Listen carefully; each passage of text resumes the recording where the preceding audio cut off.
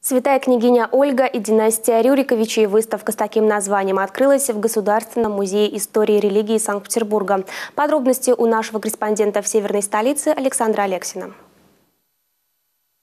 В Государственном музее истории и религии Санкт-Петербурга открылась выставка «Святая княгиня Ольга и династия Рюриковичей», которая освещает историческое значение государственной деятельности княгини Ольги и ее потомков, князей династии Рюриковичей. Выставка посвящена святой равноапостольной княгине Ольге и ее потомкам династии Рюриковичей.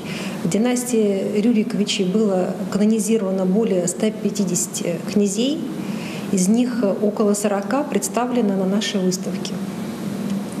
Это устроители государства, это государственные мужи, это великие военачальники, как Александр Невский и Дмитрий Донской, это князья-мученики, князья-старстотерпцы, святые жены. И также у нас э, на выставке представлен раздел почитания Романовыми Рюриковичи, то есть э, где э, прослеживается преемственность почитания Рюриками вроде Романовых. На выставке представлены иконы и гравюры 17-20 веков, предметы декоративного искусства и пасхальные яйца с изображением святых Рюриковичей, князей Киева, Чернигова, Владимира Суздальской земли. Образы святых жен выделены в отдельный раздел. Выставка также рассказывает о роли Новгорода и Пскова в образовании и укреплении русского государства, об истории борьбы Тверского и Московского княжеств.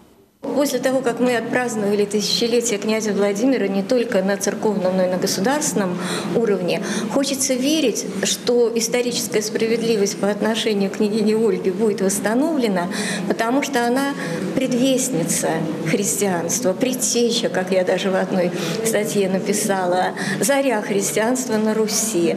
Княгиня Ольга была первой правительницей Руси, принявшей крещение, а при внуке Ольги, князе Владимире, христианство стало официальной религией древнерусского государства.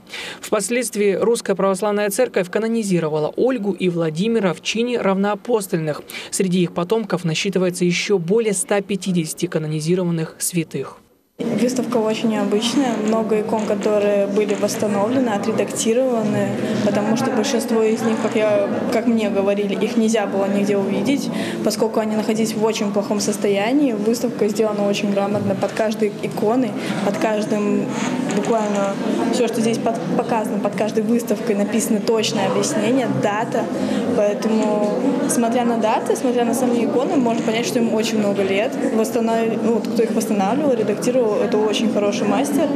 Но самое интересное, что здесь мне показалось, э, вот самое интересное, это, наверное, храм, который вот с точностью сделан изнутри, прям очень красиво расписан. Тоже дело мастера боится, потому что очень красиво сделано все. Выставка «Святая княгиня Ольга» и династия Рюриковичей продлится до 27 октября. Во время ее работы посетителей ждут ряд мероприятий. Экскурсии, в том числе автобусная «Царская дорога» от Рюриковичей к Романовым. Детская программа с мастер-классом и занятия по освоению славянской письменности. Двери музея открыты для всех желающих прикоснуться к истории нашего государства.